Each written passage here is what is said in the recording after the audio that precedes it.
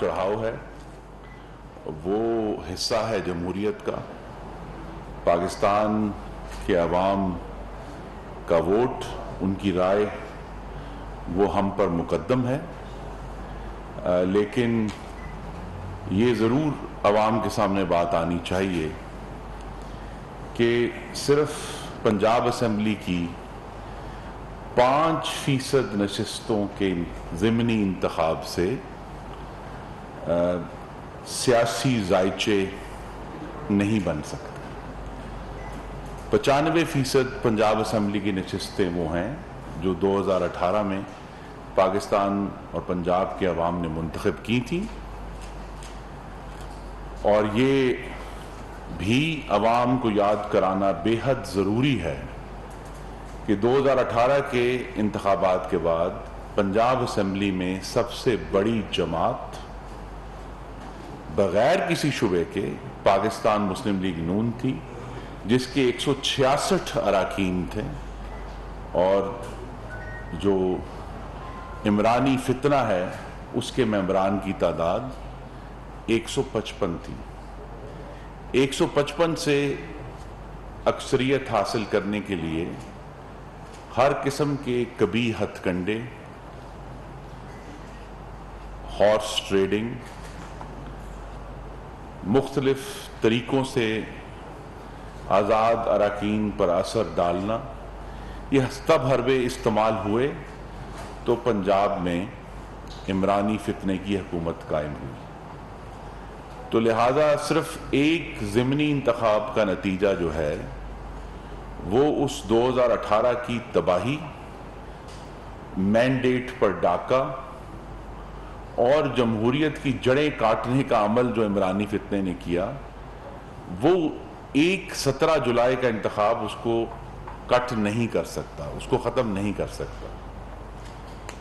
اور اللہ تعالیٰ کا بے حد کرم ہے کہ عمرانی فتنے کے بد اعمال کے برعکس سترہ جولائی کو کوئی پریزائڈنگ افسر اغوا نہیں ہوا۔ کہیں بھی سڑکوں پر گولیاں چلنے نہیں دی گئیں۔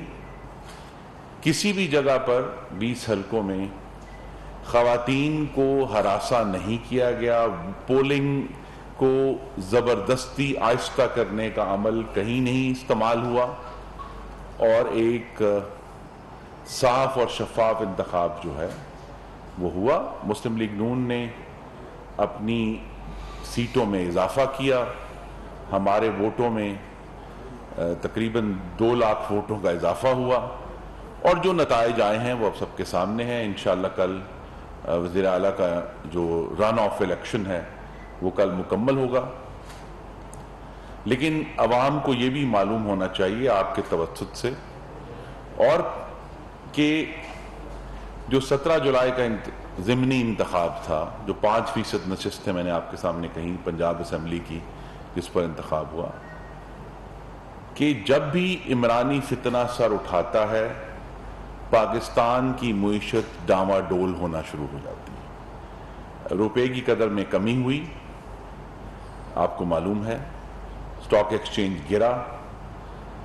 تو وہ جو ایجنڈا تھا کہ پاکستان، جو عمرانی فتنے کا ایجنڈا ہے، کہ پاکستان کی معیشت کو ڈاما ڈول اور ڈگمگاتے رکھنا ہے وہ ایک دفعہ پھر ہمیں واضح طور پر نظر آیا۔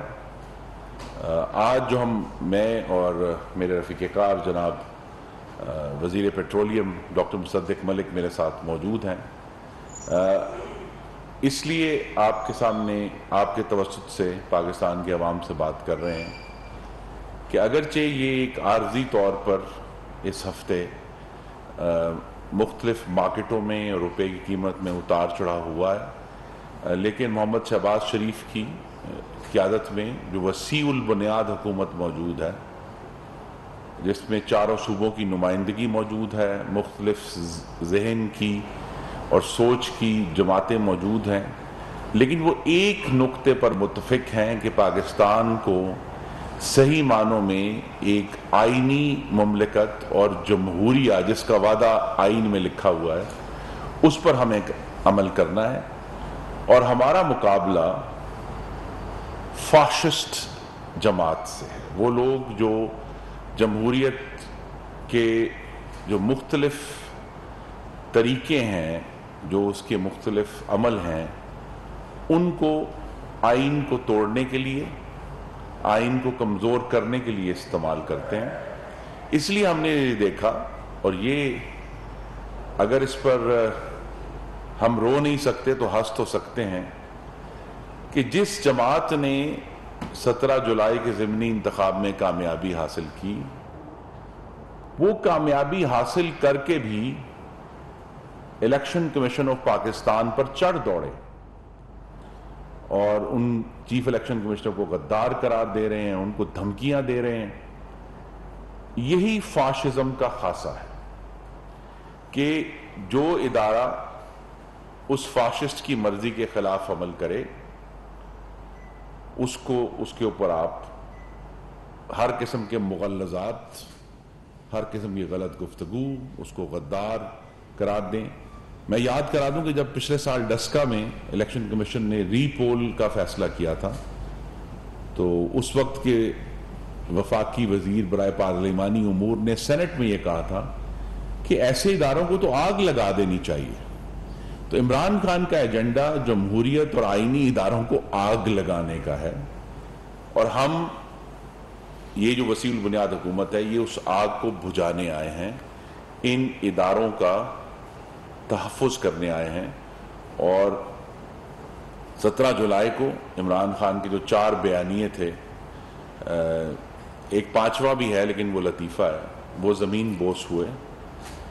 پہلا تو یہ تھا کہ اب اب بتا دیں کہ سترہ جولائی کو امریکی سازش کہاں ہوئی اور اس نے کس کی حمایت کی؟ یہ بیانیہ زمین بوس ہو گیا، دھڑم سے منہ کے بل نیچے آ گرا۔ دوسرا جو بیانیہ تھا، ایکس اور وائی کا، نیوٹرل کا، جانور کا، یہ بھی ہمیں بتا دیں کہ سترہ جولائی کو کس کی حمایت ہوئی؟ کہ جی سازش ہو رہی ہے، یہ ہو رہا ہے۔ تو لہذا یہ تمام ایکس وائی بیانیہ بھی زمین بوس ہو گیا۔ پھر الیکشن کمیشن کو کے اوپر جو حملہ آور تھے اور ہیں، وہ بیانیہ بھی زمین بوس ہوا۔ عدلیہ کے اوپر بھی جب عدلیہ نے ابھی سپریم کورٹ پاکستان نے جو تحریک عدم اعتماد کے اوپر جو سو موٹو لیا تھا، اس کا جو تفصیلی فیصلہ آیا، جس میں کہا گیا کہ صدر مملکت و وزیر اعظم اور سپیکر، ڈیپٹی سپیکر نے آئین شکنی کی ہے، تو اس وقت سے عدالتوں پر بھی حملہ آور ہیں۔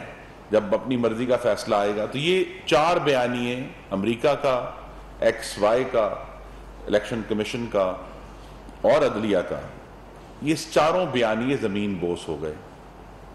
پانچواں بیانیہ جو ہے، وہ نیپی بیانیہ ہے کہ جو امیدوار اس وقت مسلم لیگ نون کے مقابلے میں موجود ہیں انہوں نے ایک پریس کانفرنس کی تھی کچھ عرصہ پہلے، پی ٹی آئی کا امیدوار بننے سے پہلے۔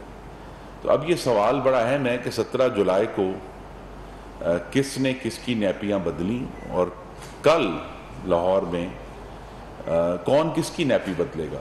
ہم یہ جاننا چاہیں گے۔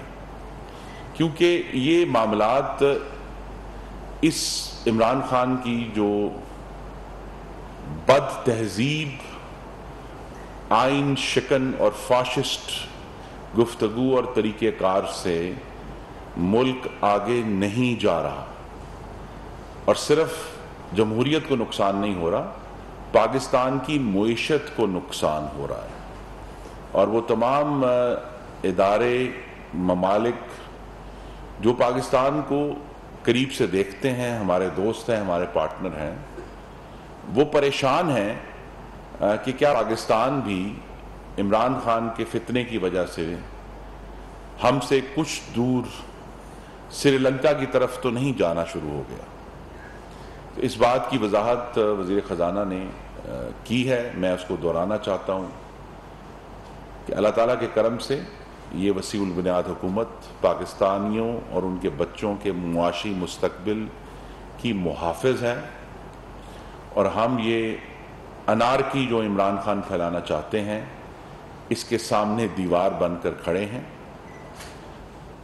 ہم میں سے زیادہ ہم دو جو حضرات موجود ہیں، ان سے زیادہ کسی کو احساس نہیں ہو سکتا کہ جو حالیہ ہم نے تیل کی قیمتوں کو، بین الاقوامی قیمتوں کے قریب ہم لے کر آئے ہیں، اس سے پاکستان کے عوام کو تکلیف پہنچی ہے۔ جو مہنگائی ہے، اس سے پاکستان کو تکلیف پہنچی ہے۔ لیکن یہ یاد رکھیں کہ نو اپریل دو ہزار بائیس تک اس ملک پر عمرانی فتنے کی حکومت تھی۔ اور ابھی جب یہ بجٹ کے نمبرز آئے ہیں، تو اس بجٹ کے نمبرز تو ہم تو اس کے ذمہ دار ہیں جو انیس اپریل دو ہزار بائیس کے بعد جس دن کابینہ بنی، اس کے بعد جو معاملات ہیں، اس کے ہم ذمہ دار ضرور ہیں۔ لیکن اس سے پہلے کی خرابی، مہنگائی، کساد بازاری، بے روزگاری کی ذمہ داری بھی اسی فاشس دروازے پر جائے گی جہاں جمہوریت کی تباہی کی ذمہ داری ہے۔ تو اب یہ اس ہفتے جو مارکیٹوں میں اتار چڑھا ہوا ہے، روپے کی قیمت کے اوپر ایک بہت بڑا کنسرن ہے۔ کل وزیر اعظم نے اس پر ایک تفصیلی میٹنگ لی ہے، ہم سب اس میں موجود تھے۔ اور یہ بات واضح ہے کہ جو سنبھالا دینے کا کام ہے، وہ شروع ہو چکا ہے۔ وزیر خزانہ نے رپورٹ کیا، میں اس کو پھر دہرا دیتا ہوں کہ اٹھارہ جولائی تک پاکستان میں جو فورن ایکسچینج کا آؤٹ فلو دو اشاریہ چھ ارب تھا۔ اور ان فلو جو آئے ہیں، وہ دو اشاریہ پانچ ارب تھا۔ تو صرف صفر اشاریہ ایک ارب ڈالر کا ڈفرنس ہے جو کہ سٹیبل ہے۔ پاکستان میں اس وقت فورن ایکسچینج کا ان فلو اور آؤٹ فلو جو ہے وہ بالکل سٹیبل ہے۔ ہمیں یہ بھی رپورٹ کیا گیا کہ پاکستان میں اس وقت جو پیٹرولیم کی مصنوعات ہیں، اس پہ ڈاکٹر صاحب زیادہ بات بتا سکتے ہیں۔ اس وقت ریکارڈ لیول کے ذخائر پیٹرولیم کے مصنوعات کے موجود ہیں اور وزیر اعظم کو ہم نے یہ رپورٹ کیا کہ اکتیس مارچ دو ہزار بائیس کو جو گردشی قرضہ تھا بجلی کا، وہ دو ہزار چار سو ستاسٹھ ارب روپے تھا۔ اور ہم نے پھر ان تین مہینوں میں اس میں دو سو چودہ ارب روپے کی کمی کی ہے۔ تو لہٰذا جو تیس جون دو ہزار بائیس کو گردشی قرضہ تھا۔ وہ اکتیس مارچ دو ہزار بائیس سے دو سو چودہ ارب روپے کم تھا۔ جو ادائیگیاں کرنے والی تھیں، وہ ہم نے کی ہیں۔ جو پینڈنگ ایشوز تھے، جو عمرانی نالائکی کے سبب جو ہے، وہ حکومت حل نہیں کر پا رہی تھی۔ ہم نے ان کو حل کرنے کا آغاز کر دیا ہے، جس کی وجہ سے گردشی قرضے میں تین مہینوں کے اندر جب ہماری حکومت تھی، ہے اور انشاءاللہ اب پارلیمان کی مدت تک رہے گی۔ تو ہم نے ان تین مہینوں میں گردشی قرضے میں دو سو چودہ ارب روپے کی کمی کی ہے۔ اور آنے والے دنوں میں آپ یہ دیکھیں گے کہ جیسے ہی آئی ایم ایف کا چونکہ سٹاف لیول اگریمنٹ کا اناؤنسمنٹ ہو چکی ہے، اس کے تحت جو ادائیگیاں ہیں وہ شروع ہو جائیں گی۔ دوست ملکوں سے، چین سے پہلی ادائیگی آ چکی ہے۔ دوسری ادائیگیاں بھی آنے والے دنوں میں شروع ہو جائیں گی۔ تو پاک روپی بھی آپ کو بہت حد تک سٹیبل ہوتا ہوا نظر آئے گا۔ اور جس طرح ہم نے اب ڈالر کا جو آؤٹ فلو اور ان فلو ہے، جو اس کا توازن ہے، وہ بیلنس کر لیا ہے، تو ہمیں اور آلریڈی پیٹرولیم مصنوعات کی جو طلب ہے، اس میں کمی آ رہی ہے۔ تو ہمیں یہ اب ایک واضح توقع ہے کہ آنے والے مہینوں میں یہ جو بیلنس آف پیمنٹس کا بحران ہے، یہ بہت حد تک متوازن اور مستحکم ہو جائے گا اور انشاءاللہ اس موسم خزاں میں جو آنے والا ہے، ستمبر، اکتوبر میں پاکستانیوں کو اپنی مہنگائی میں بھی ایک واضح طور پر کمی ہوتی ہوئی نظر آئے گی۔ اور یہ پوری کوشش جو ہے، پوری محنت جاری ہے۔ ہمارا مقابلہ نہ صرف فاشس سے ہے، بلکہ جھوٹ سے ہے۔ اور بہت ہی ڈھٹائی سے جھوٹ بولتے ہیں یہ فاشسٹ جو جمہوری لبادہ پہن کر ہمارے درمیان موجود ہیں۔ لیکن ہمیں سچ سے اور حق سے اور پاکستان کے عوام کی خدمت سے ان کا مقابلہ کرنا ہے۔ ہم پرعزم ہیں اور پورے عزم کے ساتھ، پوری جرت کے ساتھ، پوری محنت کے ساتھ اور اللہ تعالیٰ کے حضور آجزی کے ساتھ اپنا کام، اپنی محنت، اپنی کاوش جاری رکھیں گے۔ ڈاکٹر صاحب۔